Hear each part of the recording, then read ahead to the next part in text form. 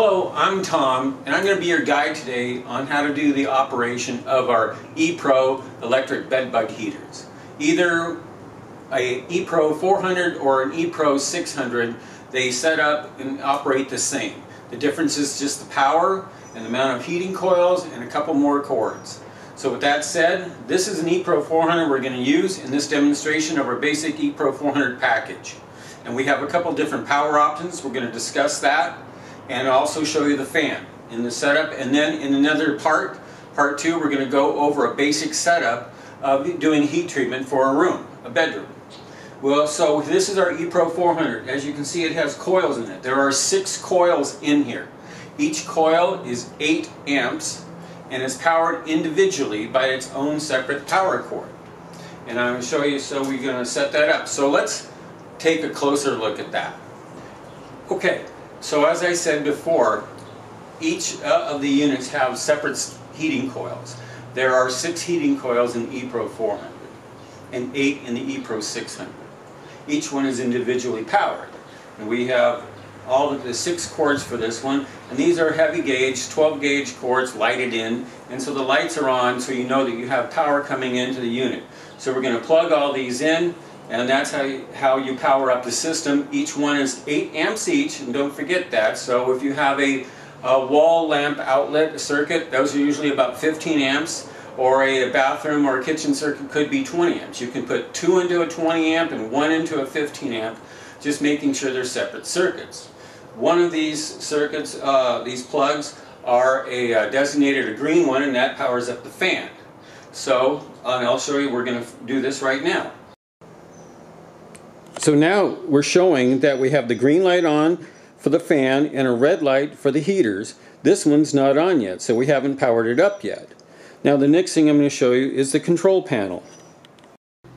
Now the control panel, as you see, has is very simple and easy operation. We have the fan, and we have a heater, and we have the thermostat. The thermostat is preset at our factory, and it's ready to go for you. So it doesn't come on and off but there are instructions for that but you should not have to adjust this. In operation you're going to turn on the fan first and then the heater.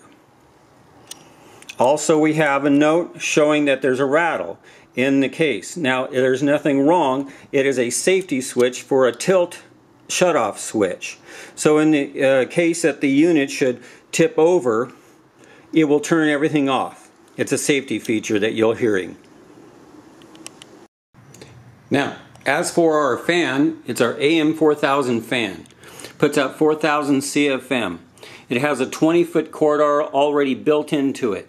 You just simply plug it in. All of our units and our heater units are all 120 volts, as we said before. And this fan has two speeds. It's got a high and a low on it.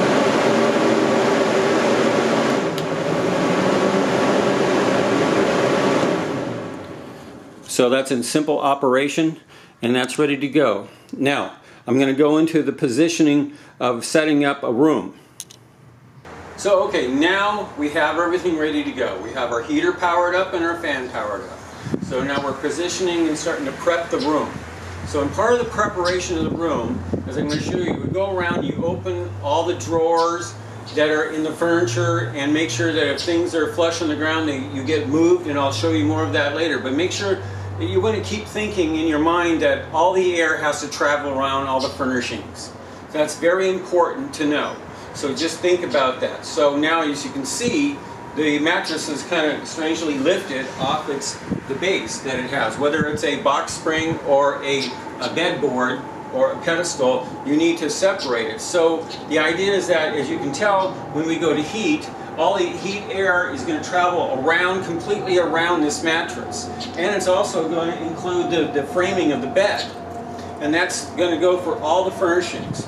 Now we set up our heater at kind of an angle. This is a room, that doesn't have a long wall in it, but you want to try to bounce it off the wall. Maybe at a 45 or something like bounce it off the wall. You want to be sure that the heat is traveling behind the headboards because that's a great harborage for bed bugs. And the eggs get into the the box springs or in the framing work. So you want to make sure everything's traveling around. And it's going to be pushing the air this way. And then another position, we have the heater here. You can position it down a little further in the second stage if you want to try to get it down here, making sure that you're getting it, you know, circulating this air real robustly, strong all around. Now, on the other side, I'm going to show you that we have the fan, and you're going to create a, a convection of heat, a cyclonic effect. So you have a vortex, a convection, just like a cooking oven. You're going to circulate this heated air real strong in this room between the fan that's in the heater blowing this direction is being picked up by the other strong fan that we have over there and throwing it back around so that it throws it around and creates this circulation real strong. In the meantime, it's getting between all the furnishings, it's going in the drawers. That's why it's important to open things. And if you have pile uh, of objects around or belongings, that you want to be able to move them around and change things around. For instance, I'm going to show you, we're going to take a walk around and show you what I did before. So keep in mind, all the air has to circulate. Okay, we're showing that our heater is powered up and aimed at the bed, which is separated. So we have that airflow going through that. It's coming over at an angle, going into this, the back side of the bed, coming back over here on this side, being picked up by the fan. The fan is now blowing the heated air back around to the heater again. And then it circulates over and over again.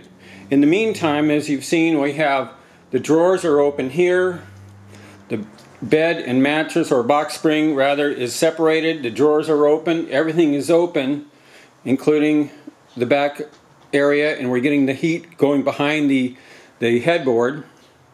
Now, there's an object here, there's a piece of furniture here, for example, that has a flat bottom on it.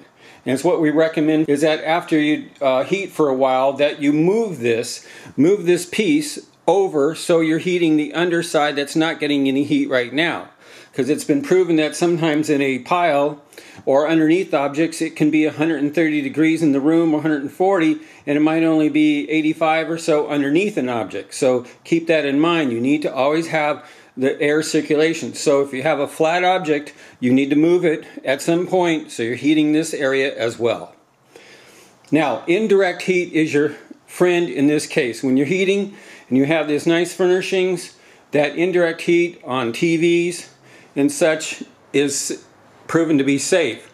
You don't ever want to aim the heater at sensitive equipment or sensitive furniture the ambient air temperature in the room is what you're really using. The only time you're really directing heat is at like the mattress, box spring, uh, sofa, cushions, but uh, within a range, so it just goes at it. But the rest of the items, you don't need to do that. Okay, and a quick word about a couple other handy items.